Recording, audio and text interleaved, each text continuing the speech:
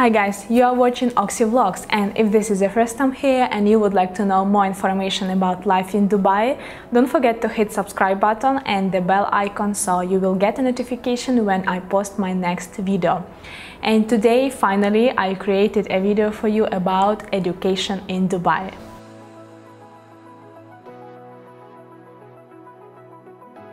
The cost of education among private schools in Dubai is getting higher and that's why many expat parents uh, are choosing to homeschool their kids or send them back to the home country to study.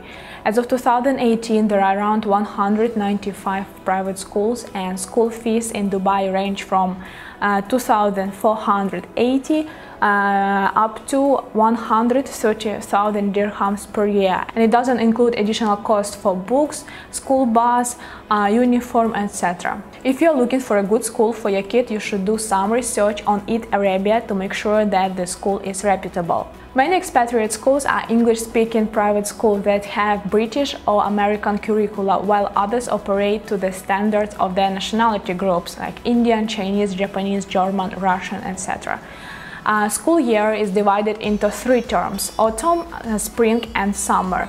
School day uh, starts at 8 a.m. and children finish their classes around 2 or 3 p.m. During Ramadan, the hours are shorter.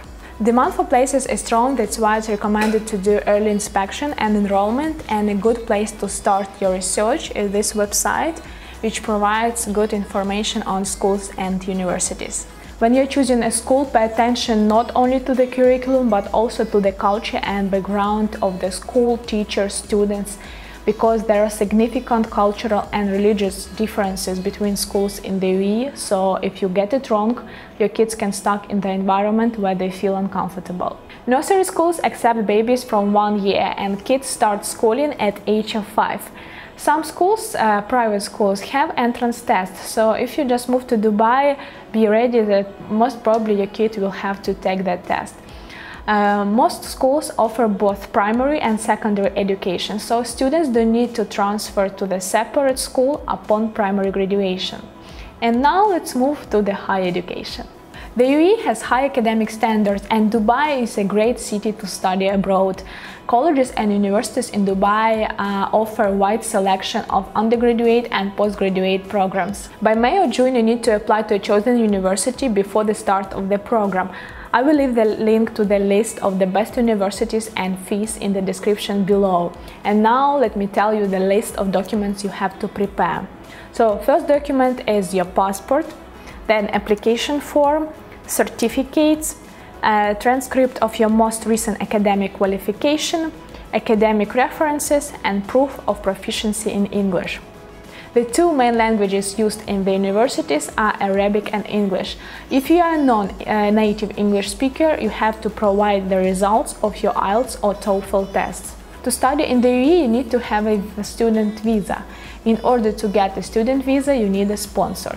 If you don't have any relatives uh, who live in the UAE, your university can sponsor you. A student resident visa will be issued for one year only and then it can be extended. Um, you have to pay uh, up to 3000 dirhams for your application form and uh, also 1000 dirhams as a deposit. And here are the documents you have to prepare for the application.